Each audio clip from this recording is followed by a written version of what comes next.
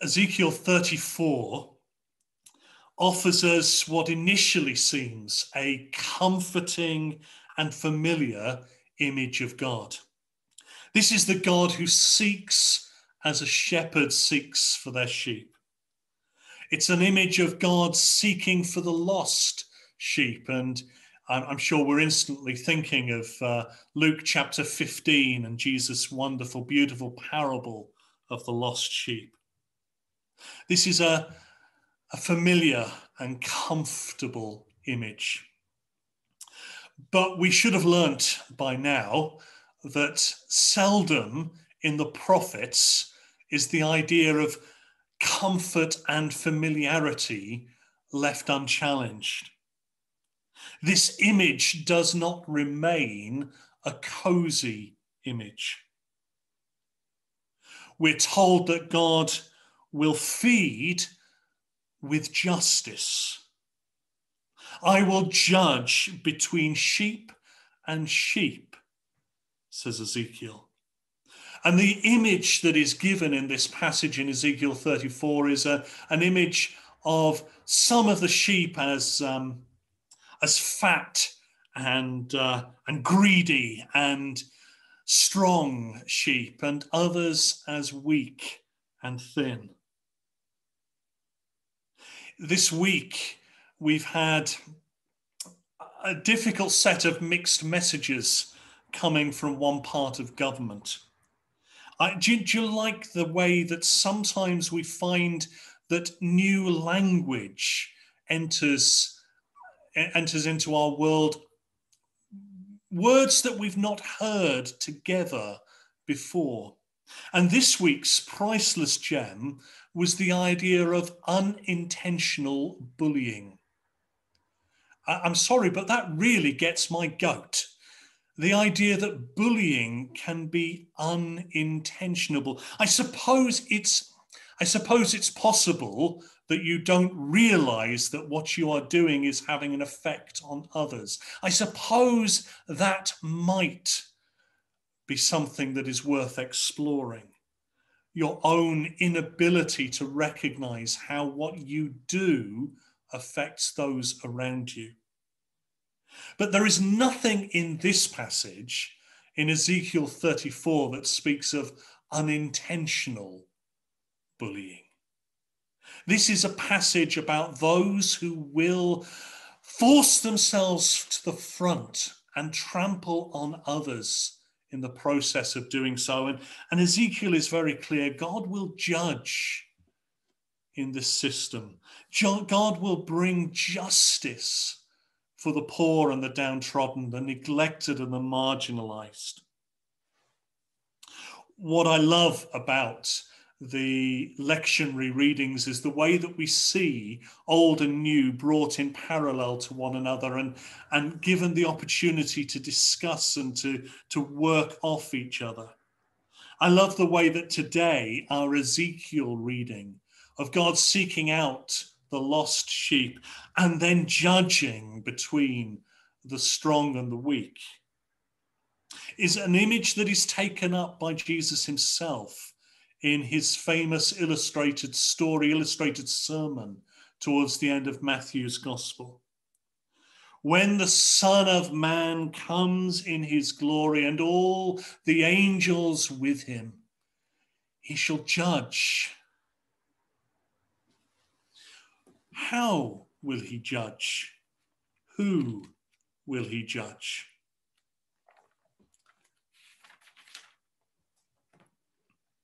All the nations will be gathered before him, and he will separate people from one, one from another as a shepherd separates the sheep from the goats.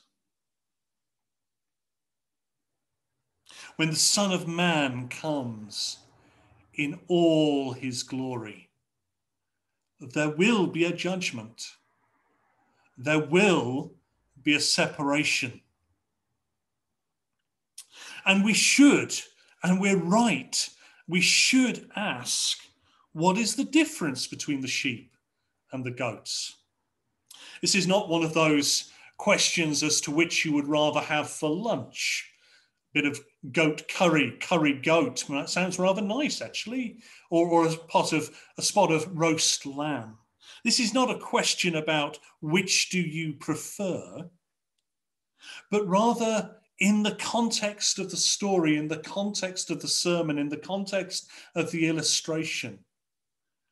Which would you rather be? The sheep or the goats?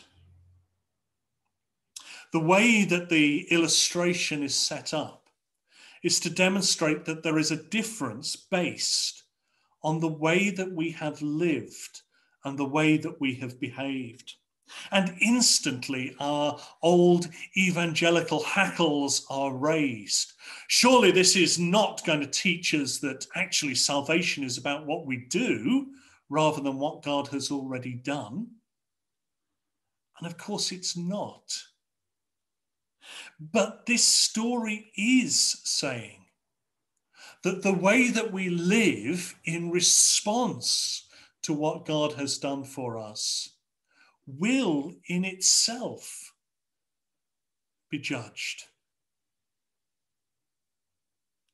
We should ask ourselves what was the difference between the sheep and the goats? And amazingly, not amazingly, Amazingly, it's exactly the same message that we as a church have been hearing through the last three months as we've worked our way through the minor prophets.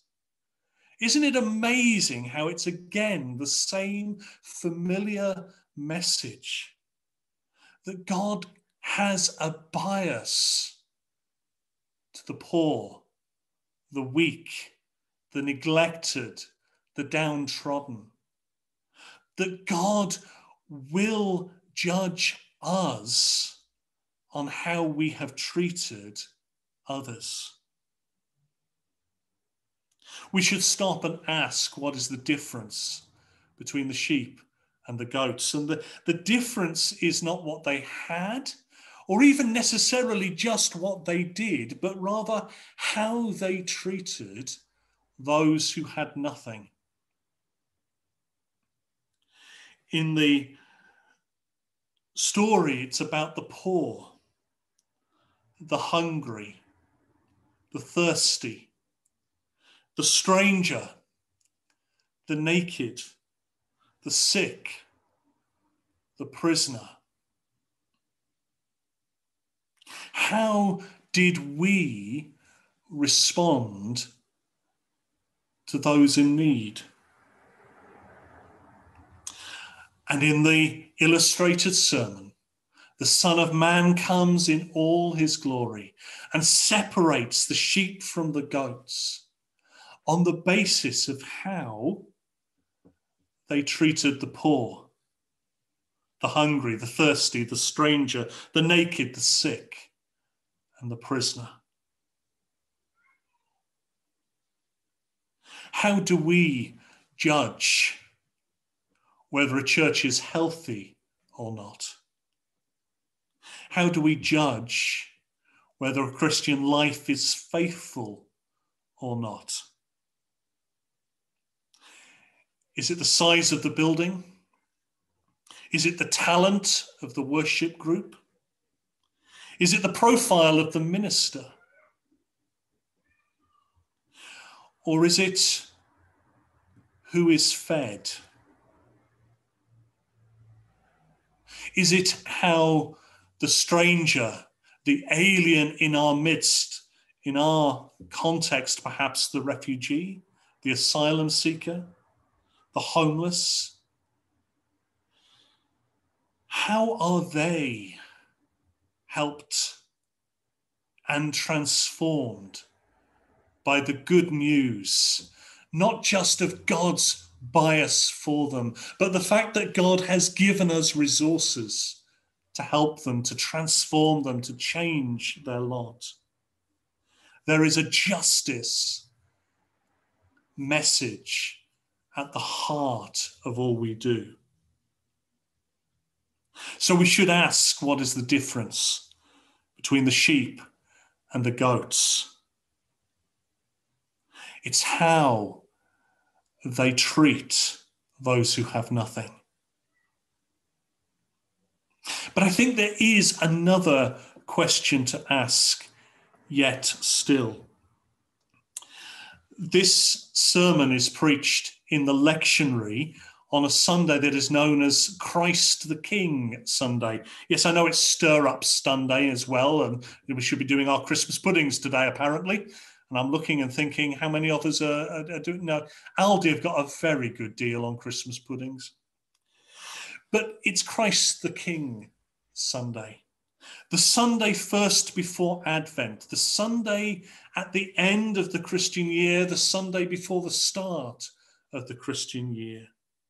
A Sunday for remembering Christ in all his glory, Christ as the King. So look again at this passage from Matthew and ask, where is Christ the King to be found? When the Son of Man comes in all his glory and all the angels with him to sit in judgment, is that where we find Christ the King? Or do we need to look further and deeper into this story and ask, where is Christ the King to be found in the story of judgment that Jesus tells? For again and again and again in this story, we are told that Christ is to be found in the person who hungers and thirsts. Christ is to be found in the stranger and the one who is naked. Christ is to be found in the one who is sick, the one who is a prisoner. Some of you will have seen on our Facebook feed this week that I reminded you of uh, a song written many years ago by uh, an artist, Keith Green. He doesn't so much sing this story as uh, he basically just reads the passage whilst pay, playing the piano enthusiastically. He does it with drama and melodrama and humor and pathos. He, he somehow manages to communicate the shock that both groups of people have. Those who are told that all is well and those who are told that all is not all seem surprised. And the difference between them is whether or not people recognize that in the poor and the lost, they are encountering Jesus himself. Where is Christ the King to be found in this story? Christ the King is hungry and thirsty Christ the King is a stranger. Christ the King is naked, sick, in prison.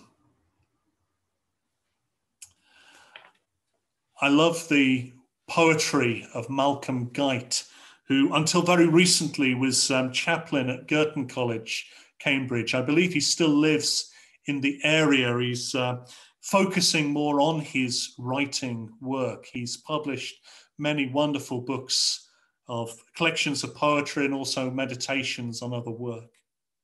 Hear his sonnet for this day, Christ the King. Hear his sonnet reflection on this passage from Matthew 25. Our King is calling from the hungry furrows, whilst we are cruising through the aisles of plenty.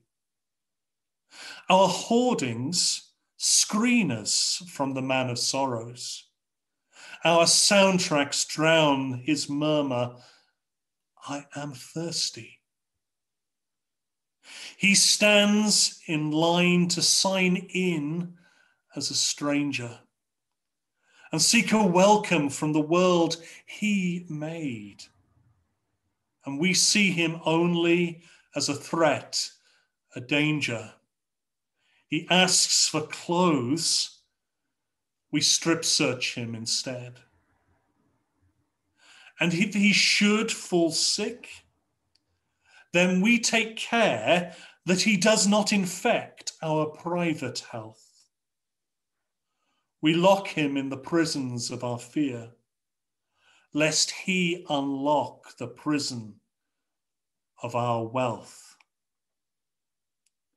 But still, on Sunday, we shall stand and sing the praises of our hidden Lord and King. Where will we find Christ the King today and in the days ahead?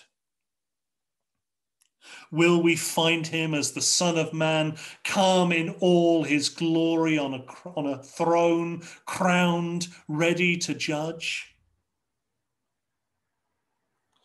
Or will we dare to find him in the lost and the lonely, the poor and the neglected, the marginalized, the hurting, the stranger? Will we dare to seek Christ the King, incarnated in this world? Let us pray.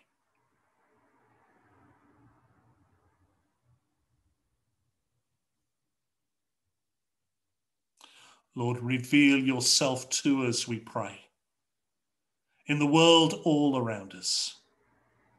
And in the making known of yourself, may we find ourselves known too. Amen.